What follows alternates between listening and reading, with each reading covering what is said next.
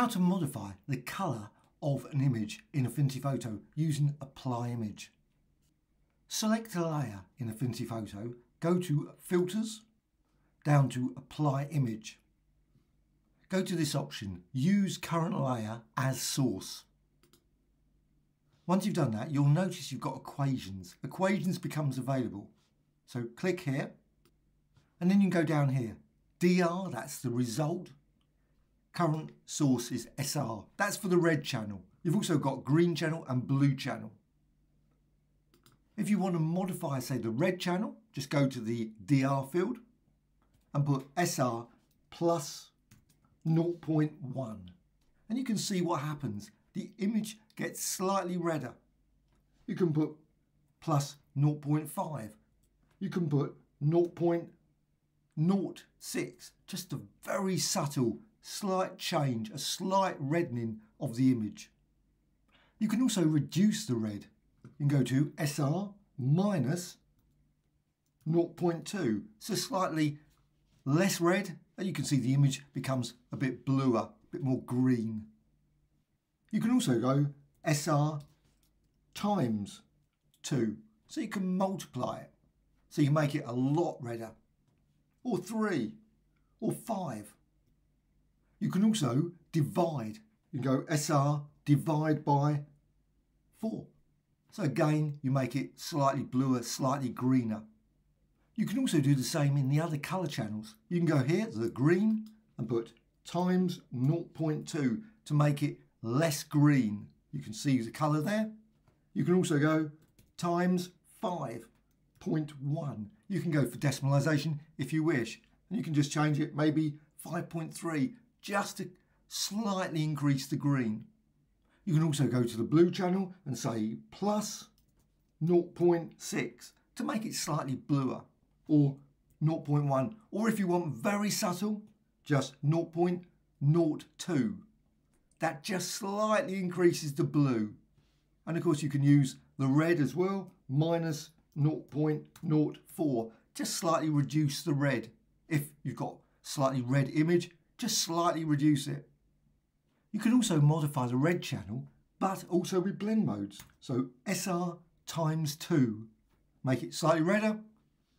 Go here to the blend modes and go through darken, multiply. Now the response is slightly slow, but it does eventually get there, and colour burn, and of course lighten, difference, etc.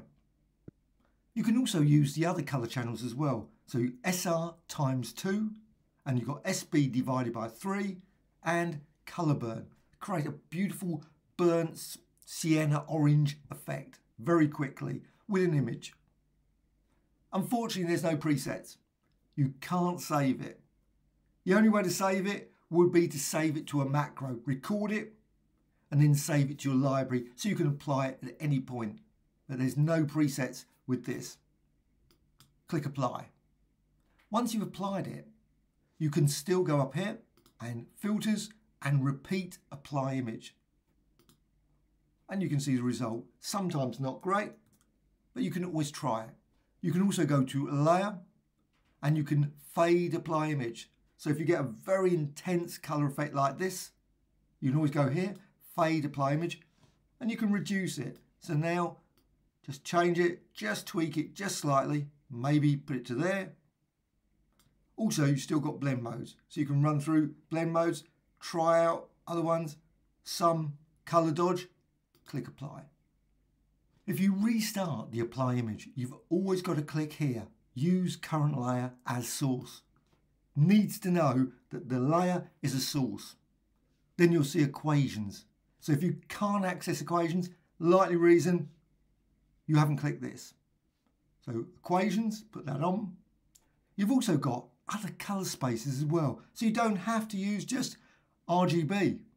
You can always go here and say grayscale. So you've got grayscale there and you can do exactly the same. Maybe you want it slightly darker or lighter.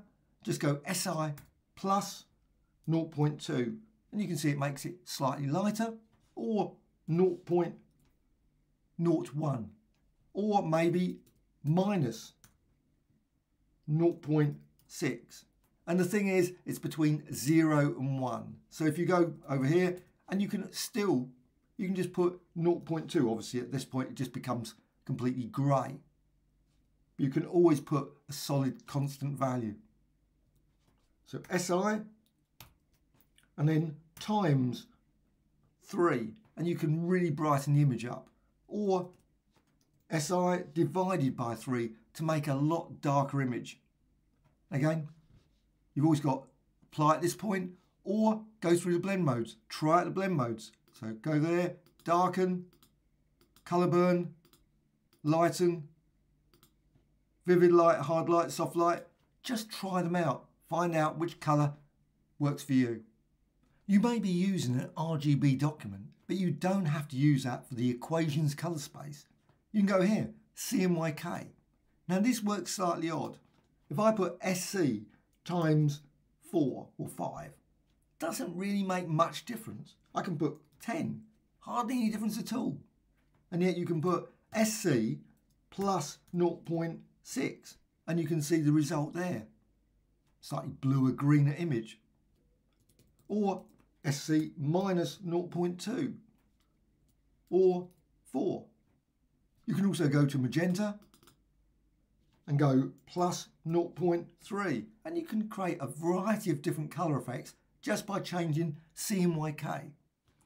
You've still got blend modes so you can run through this, multiply, colour burn, add, overlay, soft light, hard light and so on and click apply. But you can also go to lab. There's also the option for lab, lightness and A and B. So in there, you've got there SL. So plus 0.6. And you can see the result there. Obviously a lot lighter. Or minus 0.3, a lot darker. And you've also got SA. So plus 0.3. And you can see the result there. SB plus 0.4. You can create a variety of different colour effects just using Lab. Definitely should not be ignored.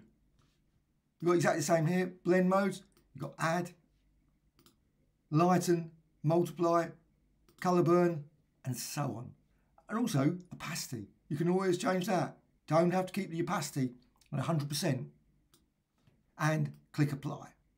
And you've still got filters and repeat apply image if you wish. Yes, not always of course the response you might think. Layer, also fade apply image as well. So you can go through these again. Here you can set the fade, go there to 100%, zero, run through them. And also use blend modes. So again, lighter, color dodge, linear light, and apply. You can also combine. So you've got SR there. So DR equals SR. You can always put plus SG. So you can bring in the green channel as well. Combine the red and the green channel. Maybe go to the green channel and maybe say minus SB. You can also use the result of the red. So you put there SG minus DR. Creates even more colourful effects. Also along with blend mode as well. You might not want to use that. You might want SG times, but you want just a little bit of the green channel. Not much, but a little bit. So SG times 0.2. And you put SG back down to there. Maybe go to 3 or 4 or 6, 7, 8. And you can see the result there as you change that. You've still got blend modes as well. Darken, multiply. So you can go there and put that to 0.9, 1.5 and so on to create all kinds of very colourful designs using this approach. You can also set it to an average. Go here, DR equals SR plus SG plus SB, and then divide by 3 for the three colour channels. So just put that. Or divide by 5. Or divide by 2. You don't have to divide by 3. You can also go SG times 0.8. So you can just add a subtle bit of a change to the green channel. You can also just put these in all of them. So with that, DG equals just copy and paste. Just go there, copy and paste, and you've got a grayscale image. But you've got a grayscale image you can manipulate. You've got SB, and you can say, well, I don't want all of the SB there. I want 0.8 or 1.2. So you can just darken it, maybe make it slightly bluer. The result of the blue is increased a bit. You can go to this one and say, instead of 0.8, go for 0.9. And it's very subtle changes. Maybe use 0.4. You can see the result there. Slightly yellow, more yellow effect there. 0.9, 2.2. So of course it brings the colour back in again, but it's still got that grayscale sort of monochrome sort of colour that you can create some really interesting designs with. As with before, you can still use blend modes. You can run through them, try them out. You might find overlay or soft light, hard light, vivid light gives even more amazing colour designs than any of the other blend modes. And click apply. You can do the same in CMYK. Go to the DC channel, make that SC plus SM plus SY plus SK, and then divide the whole lot by four. You can then copy and paste it into all of the other channels. But you don't have to keep them as divided by four. You could put divide by two or divided by six. You can also go here and divide by eight. And you can see the result by just changing the division, divide by two, to create a variety of different results. But as before, you can go here to SM, to say 0.6. So just bring in a little bit of magenta, maybe a little less, or maybe go for 1.2 times that. And maybe go to the yellow and go 1.2 times. And you can create a variety of different colour designs just by using that. Go to the DK. You don't have to use this. You could just go with the SK, so you just got the black. And you can see the result there. You've also got blend modes.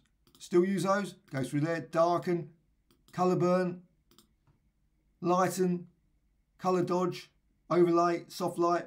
Just try them out. Screen and click apply. And you've still got filter and repeat apply image. Brightens it up a bit. Or go to layer and fade apply image. And you can see you can bring in the original colours, but you can fade them. So you just fade them just slightly, maybe make it just about there so you've got some colour, very subtle colour. You can also use blend modes. So run through darken, colour burn, lighter colour, soft light, and tweak these. So you can just go backwards and forwards with the fade, maybe go there and click apply. Hope you found this tutorial of interest. Any questions, please let me know in the comments below. Always great to hear from you. Thank you much.